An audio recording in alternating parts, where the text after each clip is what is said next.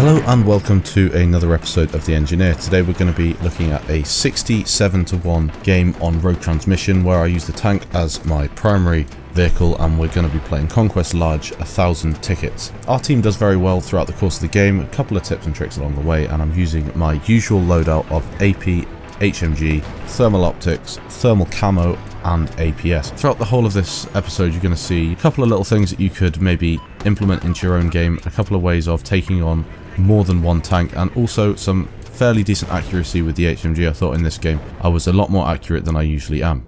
In this position where I am right now pushing onto Delta, especially on Conquest Large, it's not a great idea to push straight onto the flag. And the reason for this is, is you're going to find a lot of enemies hiding off the burn of the flag, possibly down off the bottom of the hill, especially if they've got Bravo capped or I think it's Charlie capped on Conquest Large, which is under the dish.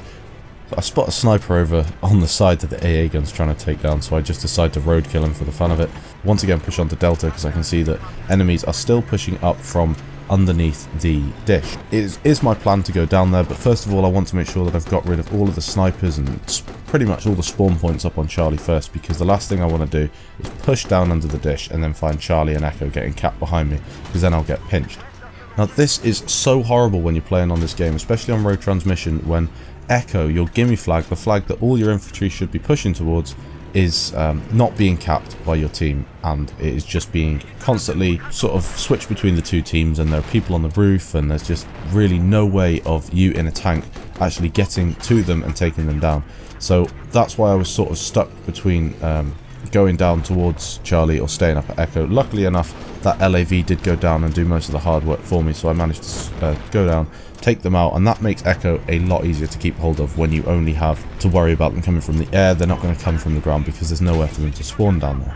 What I like to do once I've captured Delta as well is push straight up towards uh, Bravo flag. There's not really too much of a need to go all the way to Alpha unless, you know, their team's that bad that they're getting spawn camped as I hit a nice shot on that helicopter through the, the flag there stopping him from getting over probably towards our gimme flag over at Echo. But I pick up this position over here on the, the right hand side and then use this LAV which is kind of bad but I use that LAV as cover as I've already used my APS and um, that LAV between us we managed to take it down. Once again spotting that tank in the distance he's popped his APS as well so I don't get a hit then.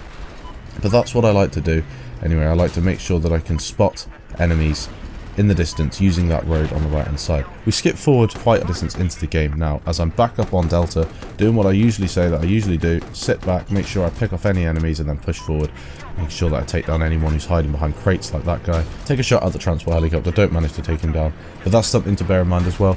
When you see a transport helicopter in the air and you're in a tank, have a go at it, but don't just sit there trying to shoot them down because it's really not worth it. Maybe have a couple of goes with uh, your HMG, one or two shots with the AP shell.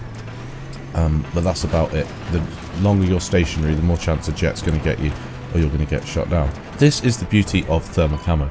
I've managed to push all the way up here without any of those tanks in the distance noticing me, so I can just get the first shot on one. He's lucky enough just to go straight down, and then I can shoot the other one who does pop his APS. Uh, but I've managed to get myself the jump on the enemy armour, and one jumps out to repair his tank, and he just takes an AP shell straight to the face. So Thermal camo, definitely worth trying out if you haven't already. I really didn't realise how good it was until I recently started using it.